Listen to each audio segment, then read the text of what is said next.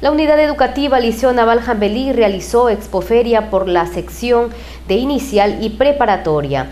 Los estudiantes dieron a conocer sus destrezas y habilidades aprendidas en las aulas. Estudiantes de inicial y preparatoria de la unidad educativa Liceo Naval Jambelí participaron de la primera expoferia demostrando sus destrezas adquiridas en la institución.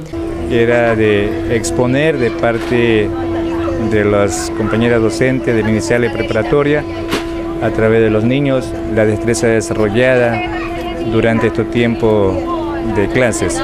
Y como hemos observado en los diferentes hectáreas, los niños, los pequeñitos, se han lucido eh, presentando sus destrezas, habilidades en pintura, dramatizaciones, cuentos y realmente llena de alegría.